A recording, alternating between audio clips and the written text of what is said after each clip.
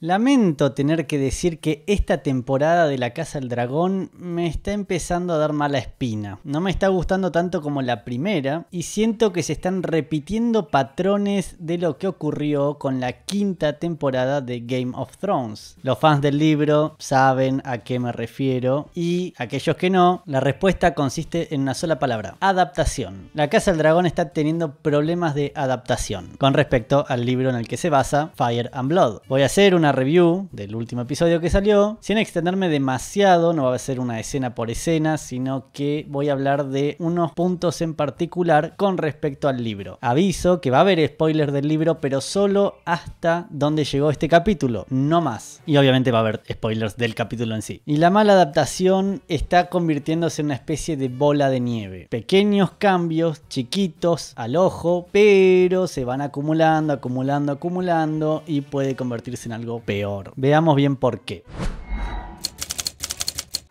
Empezamos con que no sabemos bien si Sunfire, el dragón de Aegon, murió o no murió. El diálogo que pronuncia Kristen Cole daría la impresión de que o tardó mucho en morir pero murió, o está tardando en morir y todavía no murió. Sunfire es un dragón importante dentro de la novela, va a cumplir un rol más destacado en el futuro, eso no son spoilers en sí porque no tienen ni idea de qué estoy hablando. Bueno, hay algunos pillos que no leyeron el libro pero vieron Game of Thrones y saben a qué me refiero. Pero la poca claridad de la serie al respecto, y especialmente en los subtítulos en español, si alguien la está viendo así, dejan muchas preguntas y más que nada dejan una especie de certeza de que el dragón está oficialmente muerto. Sunfire no puede morir aún, excepto que vayan a cambiar cosas importantes. Y eso es una opción. Yo no sé si está muerto o no. No entendí el diálogo, honestamente. Da la impresión de que sí y también da la impresión de que no. Pero puedo comprar que quieran cambiar una escena futura. Para lo cual Sunfire bien podría estar muerta ahora y ya está. Después tenemos esto de que pasean la cabeza de Melis, la reina roja, la dragona de Rhaenys. La pasean por las calles de King's Landing, la capital, y la muestran como un trofeo de guerra, un éxito por parte de Aegon, que la mató. Bueno, no fue Aegon, pero no importa. Y el pueblo lo ve como un mal presagio, un mal augurio. Y después, de hecho, Rhaenyra también dice lo mismo. Ahora, ¿por qué el pueblo de King's Landing sentiría un aprecio o amor por Rhaenys y su dragona, cuando, si nos acordamos bien en esta escena de la primera temporada, Rhaenys destruyó el suelo de Pozo Dragón, el Dragon Pit, y después mató a decenas, y no cientos de inocentes que estaban ahí congregados y se fue. Rhaenys y Melis no deberían ser dos personajes odiados por el pueblo de King's Landing. Esto no hubiera pasado si respetaban el libro en el hecho de que Rhaenys nunca estuvo en King's Landing durante la coronación de Aegon, porque no tenía razón para estar ahí, no tenía razón para estar prisionera, no tenía razón para presenciar todo, no tenía razón para tener su dragón enfrente de todos los verdes y después irse. Si bien no me parece mal que no los matara, creo que tiene sentido dentro de la narrativa, pero no está adaptado bien eso. Entonces, esto tampoco está bien adaptado. Si en el libro, capaz, Rhaenys era apreciada por el pueblo y su dragona también, que lo era, de hecho, lo era porque no había matado un montón de gente. Pasemos a lo siguiente. Jaehaerys, el hijo de Rhaenyra, va a los gemelos de Twins, donde vive la casa Frey. Y la casa Frey es famosa por una gran, gran, gran escena en la tercera temporada de Game of Thrones.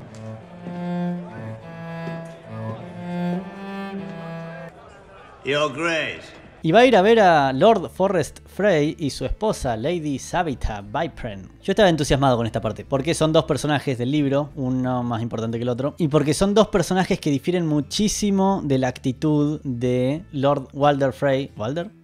Walder Frey en la serie original, porque estos Frey son más honorables y son más combativos, son más jóvenes, para empezar, no son lo que vimos en esta escena. Lord Forrest era un caballero honorable, de buen talante y que estaba a favor de la causa de Rhaenyra. Esto también se debe porque su esposa, Lady Savita, muy mal adaptada, también joven, una mujer aguerrida, una mujer que prefería cazar y pelear a tener que disfrazarse como una monja y participar en fiestas y otros aperitivos Y aparte, Lady Sabita se da a entender en el libro que es lesbiana. Está casada con Lord Frey, pero como que tuvieron un hijo y listo. Lady Sabita va a tener importancia en la Danza de los Dragones más adelante con otros personajes, pero no esta Lady Sabita. Si es que esta es Lady Sabita, debería serlo. Y me sorprende muchísimo esta mala adaptación porque Sabita es un personaje perfecto para la clase de contenido más tirando al progresismo que vemos hoy en Hollywood. Está bien, esta serie no es tan así. Lo tiene en muy pocas dosis y es de agradecer. Pero este es un gran ejemplo de podrían adaptarla bien. Lady Sabita es un buen personaje en el libro, para lo poco que aparece, pero no importa. Y tiene sentido dentro de la narrativa de los libros de George Martin. Entonces, ¿por qué eligieron a ella cambiarla cuando después cambian a otros personajes? Porque sí, no lo entiendo. De nuevo, si es que esta termina siendo Lady Sabita y si la cambian y es una hija de ellos, la verdad que tampoco tiene mucho sentido. Bueno, cuestión que los Frey están mal adaptados, no se suman de prepo al bando de Jaceris, quieren Harrenhal, los llevaron más hacia lo que son los Frey en la otra serie y honestamente no me gustó. Sí me gustó que Jace está tomando decisiones y llevando a cabo acciones activas y de hecho me gustó mucho que le reconocieran a él, como en su contraparte literaria, que sea el de la idea de buscar a los descendientes de los dragones. Y ahí nos vamos a los Dragon Seeds. Esto lo hablé en una de las reviews anteriores. Ya tuvimos a Hugh en King's Landing y de hecho la esposa menciona el pueblo de Tumbleton donde tiene a un pariente. Acuérdense de ese nombre y esa localización. Y también lo vimos a Ulf. Él dijo directamente ser un hijo bastardo de Baelon Targaryen, el padre de Viserys y Daemon. De Hugh todavía no sabemos muy bien, pero bueno, se pueden empezar a imaginar cosas. Y de hecho vimos otros personajes que chicos ya pueden empezar a, a unir cabos, ¿no? No es tan complicado. Con esto que dice Jace a su madre, a Rhaenyra, que tienen dragones. Mencionan a Vermithor, el dragón del viejo rey, que es el más grande que hay hoy por hoy fuera de Veigar. Pero lo que le faltan son jinetes de dragones. Ya murió Rhaenyra, murió Luke. Bueno,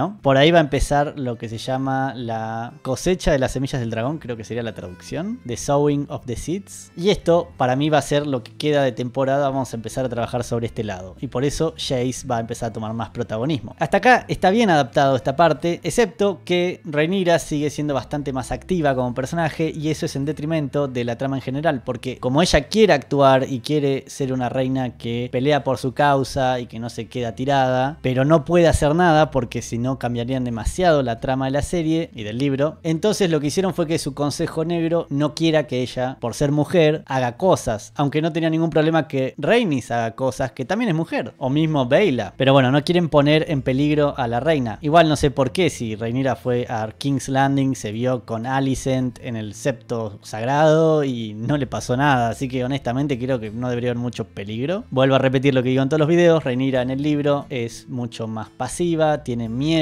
tiene dudas, no quiere exponerse al peligro, no quiere tomar decisiones importantes, no quiere poner en peligro a sus hijos otra vez y por eso tampoco es que participa demasiado en las estrategias, por más que su consejo negro igual se lo pida. Y acá nos tenemos que ir a Daemon. No sé por qué están estirando tanto esta subtrama, honestamente, y no me está interesando, no es que no me esté gustando, no me está interesando. Sí, tiene sus sueños, ahora tuvo uno bastante húmedo con su madre, que honestamente al principio pensé que estaba soñando con la primera esposa de Viserys, o sea, su ex cuñada, pero la actriz no se parecía demasiado y después revelan que es la madre de él. Creo que sí, la madre había muerto cuando él era un niño, pero la llegó a conocer, no es que no. Pero no es esto lo que no me está gustando, porque está bueno que muestren el poder de Alice Rivers, sino que está tardando mucho en conseguir la fuerza y el apoyo de las Riverlands, de las tierras de los ríos y de los ribereños. ¿Y por qué? Creo que en el libro debe de ser un par de líneas que dicen que Daemon ocupa Harrenhal y convoca los estandartes a favor de Rhaenyra y chau. Sí, hay casas como los Bracken que se oponen, pero son muy pocas y ya está y consiguió su ejército y ya vamos a pelear. Y acá le están dando vueltas y vueltas y vueltas y no queda claro tampoco qué es lo que le pide a los Blackwood. Les dice que en la guerra hay que tomar medidas complicadas o lo que sea y los Blackwood terminan matando Brackens y campesinos de Brackens y levas Brackens y soldados Brackens, que es lo que él necesitaba. Entonces, ¿qué es lo que les pidió exactamente? No queda muy claro. Entonces llegan todos los lords ribereños o un grupito de ellos a quejarse y acusarlo de haber hecho algo horrible y que no se van a unir a sus fuerzas. Pero se tienen que unir, porque si no, no hay guerra. Y esta sumatoria de cosas es lo que yo digo que no termina de convencerme. Porque son pequeñas cositas, pero son cositas que se van a ir ampliando con el paso del tiempo. Porque si cambiaste algo así, de pequeño acá, pero que puede repercutir en algo futuro, entonces se va a agrandar el cambio. Y no siento que sean cambios a favor del libro. Siento que el showrunner que quedó en solitario no es el mejor showrunner para esta serie y que el que se fue, Miguel Zapovnik, Zapochnik, bueno, ese, Miguel, si bien tenía algunos problemas con esas escenas que filmó con Noche Americana, que no estaban buenas, por lo demás, capaz que él era la buena influencia y adaptaron cosas del libro distintas pero buenas y la primera temporada terminó mejor de lo que es esta. No lo sé, capaz que no, capaz que Miguel no era el, indicado, pero eran dos showrunners, uno se va y la serie de repente es más mediocre que antes y dos más dos. Y siento que George Martin también sabe esto y siento que su queja con respecto a los guionistas que adaptan mal tiene mucho que ver con lo que estamos viendo acá. Quiero hacerles una pregunta en particular. ¿A quién prefieren como monarca o como personaje para monarca? ¿A Aegon en su estado actual incluso o a Rhaenyra? Porque siento que a Aegon le están dando mucha más personalidad y carácter que en el libro y lo están haciendo mejor personaje de lo que es y Rhaenyra está empezando a dar vueltas y sé que Rhaenyra tiene muchos fans, pero Aegon no los tenía y ahora sí. Así que ¿a quién prefieren? ¿Aegon o Rhaenyra? Muchas gracias por haber visto el video. Si les gustó, denle un me gusta y un like, me ayudan un montón y si no se suscribieron, suscríbanse también y recomienden el video si conocen gente que les gusta La Casa del Dragón, tráiganlos y que miren el video también. Les agradezco a los miembros del canal por seguir apoyándonos y si vienen a Argentina y me quieren ayudar con un único pago, pueden hacerlo en cafecito. Obviamente les recomiendo la última review que hice de la serie y nos estaremos viendo en el próximo video. Corte.